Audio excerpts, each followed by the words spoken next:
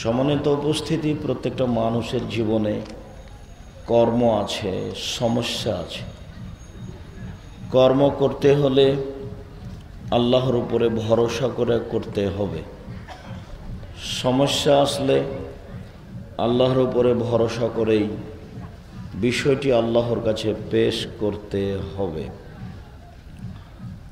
আল্লাহ তালা আমাদের নবী মোহাম্মদ সাল্লাহ আলি সাল্লামকে বলেন ফঈদা আজমতা ফতাওয়াক্কাল আল্লাহ মোহাম্মদ আপনি যখন কোনো কাজের সিদ্ধান্ত নেবেন, আপনি যখন কোনো কাজের সিদ্ধান্ত নেবেন, তখন আপনি আল্লাহর উপরে ভরসা করুন। ইন্নাল্লাহ ইহিব্বুল মুতাওয়াক্কিলিন, নিশ্চয় আল্লাহ তালা আল্লাহর উপরে ভরসা করে যে তাকে ভালোবাসেন কোনো কাজের উপরে সিদ্ধান্ত নিলে, কোনো কাজ করব মনে করলে, আল্লাহর উপরে ভরসা করেই কাজটা করব মনে করতে হবে। বাড়ি থেকে বের হয়েছেন এখানে আসার জন্য। এর একটা সিদ্ধান্ত আছে।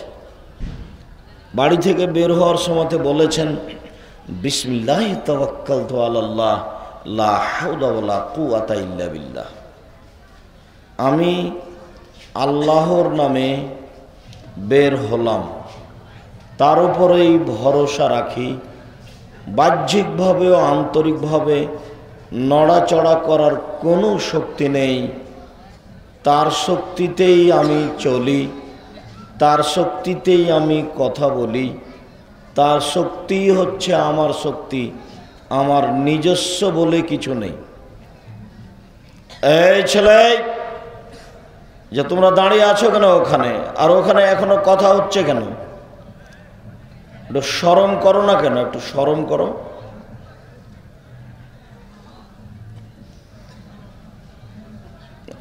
এইখানে যারা দাঁড়িয়ে আছে আপনারা তাদেরকে বসতে বলেন।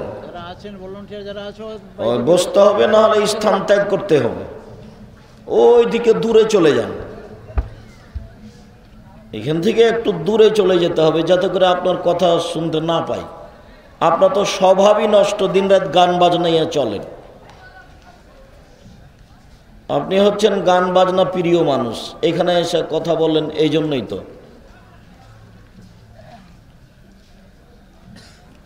আমরা আপনাদেরকে সুন্দরভাবে বসে আলোচনা শোনার জন্য অনুরোধ করছি।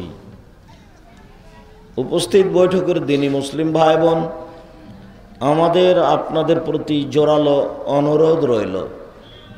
আপনারা বসে অতীব গুরুত্বপূর্ণ কথা শোনার জন্য চেষ্টা করুন। মানুষ যখন বাড়ি থেকে বের হয়, আজকে কি বের হওয়ার সময় এটা বলেছেন? আজকের বক্তব্য যদি আর না বলি, যা বলেছি এটাই যথেষ্ট, আর লাগবে না। আজ থেকে বাড়ি থেকে বের হলে বলবেন, বিসমিল্লাহ তওয়াক্কাল তো আল্লাহ লা হাওলা ওয়ালা ইল্লা বের, না বলে থাকলে এটা অভ্যাসই হন এবং বলেন যে ইনশাল্লাহ বলব। আজকের বক্তব্য যদি আমরা এখন সালাম দিয়ে চলে যাই, তাহলে আজকের পরিশ্রম এত যা কিছু আছে সব এটার জন্যই যথেষ্ট হবে। যে আমরা একটা আমল শিখেছি বাড়ি থেকে বের হলে বলতে হবে, বিসমিল্লাহ তাওয়াক্কাল তো আল্লাহ লা হাওলা ওয়ালা কুওয়াতা ইল্লা বিল্লাহ। আল্লাহর নামে বের হচ্ছি, তার উপরে ভরসা করি, বাহ্যিকভাবে, আন্তরিকভাবে নড়াচড়া করার কোনো শক্তি নেই, তার শক্তিতে নড়াচড়া করি, চলাচল করি সব কিছু করি। নিজেকে সম্পূর্ণভাবে তার উপরে সমর্পণ করা হলো। কোনো কাজ করার জন্য করব বলবেন না, বলবেন যে ইনশাআল্লাহ। ইনশাল্লাহ না বলেও তো পৃথিবীর মানুষ অনেকে করছে। আপনি করতে পারবেন না, ভালো মানুষ, মোমেন, পুরুষ, নারী করতে পারেন আল্লাহ তাকে ঠেকিয়ে দেন। সোলাইমান আলাইসাল্লাম তার একশো জন স্ত্রীর সাথে মিলার সিদ্ধান্ত নিয়ে বললেন যে একশো জন স্ত্রীর সাথে মিলার পরে একশো জন বাচ্চা হবে, তাদেরকে নিয়ে আমি শত্রুর বিরুদ্ধে লড়ব। তিনি মিলামিশা করলেন কিন্তু ইনশাল্লাহ বলেননি। কাজটা তিনি নিজের উপরে রেখেছিলেন, আল্লাহর উপরে রাখেননি। তখন আল্লাহ বলেন আচ্ছা ঠিক আছে, নবী হলে কি হবে? দেখি তিনি কেমন করে করেন, আপনি করেন তো দেখি। একটা সন্তান হলো তবু অর্ধঙ্গ, অকেজ। যা হওয়ার তাই হলো, তিনি কিছুই করতে পারলেন না। সোলাইমানের মতো একজন এত বড় নবীকে আল্লাহ ঠেকিয়ে দিলেন।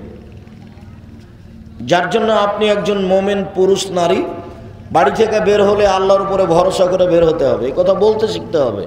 জরুরি। বলতে আপনি বাধ্য। বলেন না কেন? একটু কোরআন হাদিস মেনে চলার স্বভাব হয় না কেন? নীতি হয় না কেন? সব সময় এভাবে চলতে হয় কেন? সম্মানিত দিনী ভাই বোন সোয়াইব আলাইসাল্লাম বলেন অমা তৌফিকি ইল্লা বিল্লাহ। আমার কোনো শক্তি, তৌফিক নেই। আল্লাহর শক্তি, তৌফিক ছাড়া। আলাইহে তাওয়াক্কাল তো ইলাইহে উনিব। তার ওপরেই ভরসা রাখি, তার নিকটেই ফিরে যাব। আল্লাহ ভরসা। আমি আপনাদেরকে আল্লাহ ভরসার কিছু বিবরণ দেখাচ্ছি।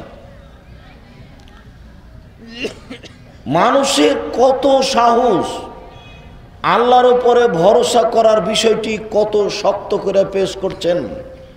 ফেরাউনের স্ত্রী আসিয়া বলেন, ফেরাউনের স্ত্রী আসিয়া বলেন রব্বিবনিল ইন্দাকা বাইতান ফিল জান্না অনাজ্জিনী মিন ফেরাউন আমালিহি অনাজ্জিনী মিনাল কমিজ জলিমিন হে আমার প্রতিপালক, তুমি আমার জন্য তোমার নিকটে জান্নাতে একটি ঘর তৈরি করো। ফেরাউনের কর্ম থেকে আমাকে রক্ষা করো। তার নোংরা,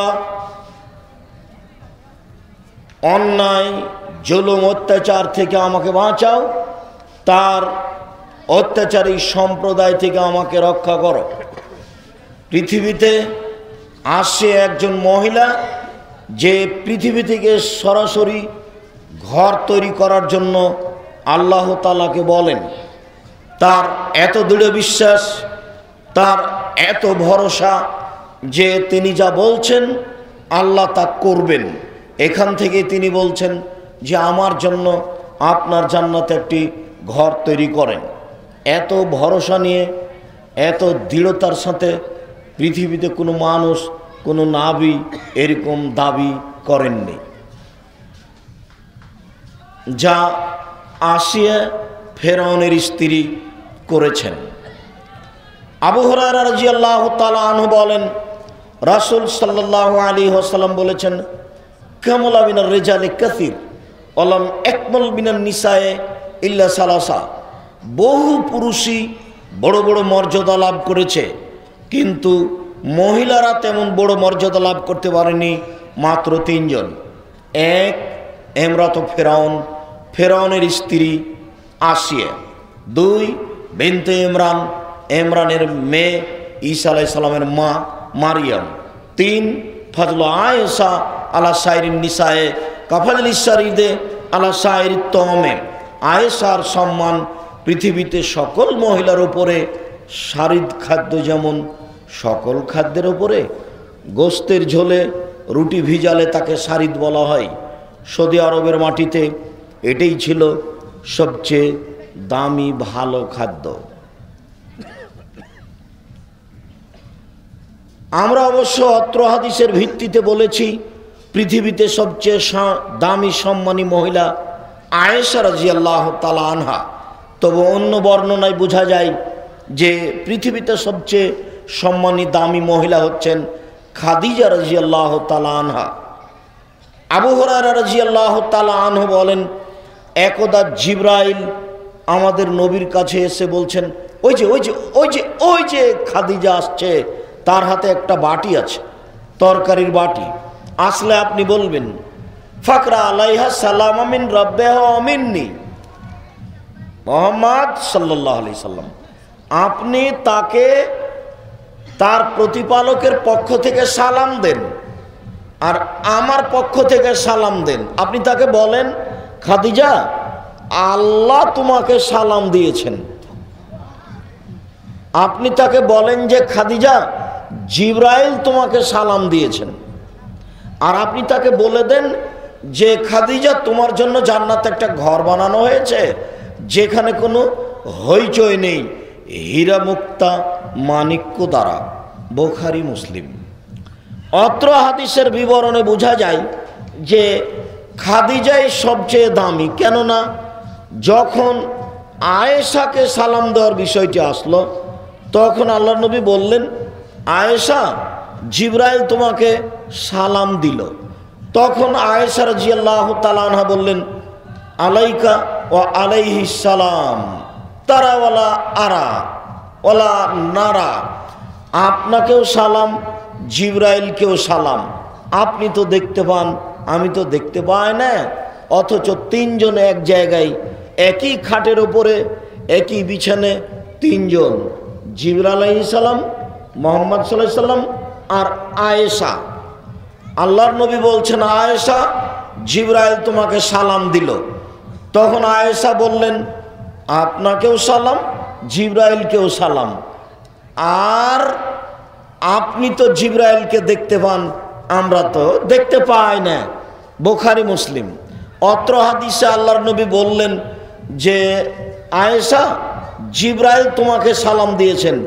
কিন্তু এ কথা বললেন না যে, আয়েশা, আল্লাহ তোমাকে সালাম দিয়েছেন।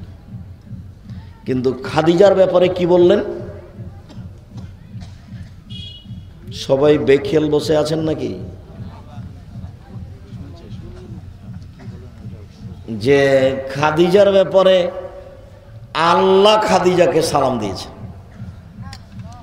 এই জন্য খাদিজাই পৃথিবীতে রাজিয়াল্লাহ তালা আনহা সবচেয়ে দামি মহিলা। বলছিলাম, আল্লাহ ভরসা। কীভাবে আসিয়ে আল্লাহর উপরে ভরসা করে পৃথিবীতে থেকেই আল্লাহর কাছে জান্নাতে ঘর বানানোর জন্য জোরালো দাবি পেশ করেন আল্লাহ ভরসা।